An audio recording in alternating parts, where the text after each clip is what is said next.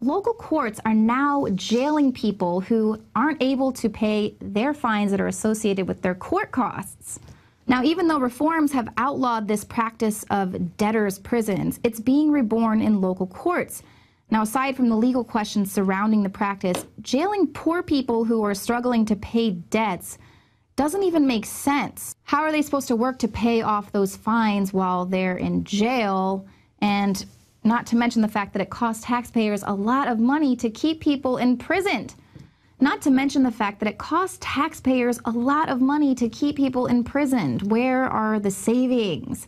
But before you think that, oh, that can't happen to me, that's just going to happen to poor people, understand that there are a bunch of government imposed fees that are heading your way in 2014, and they're just going to eat away at you like tiny little carnivorous fish.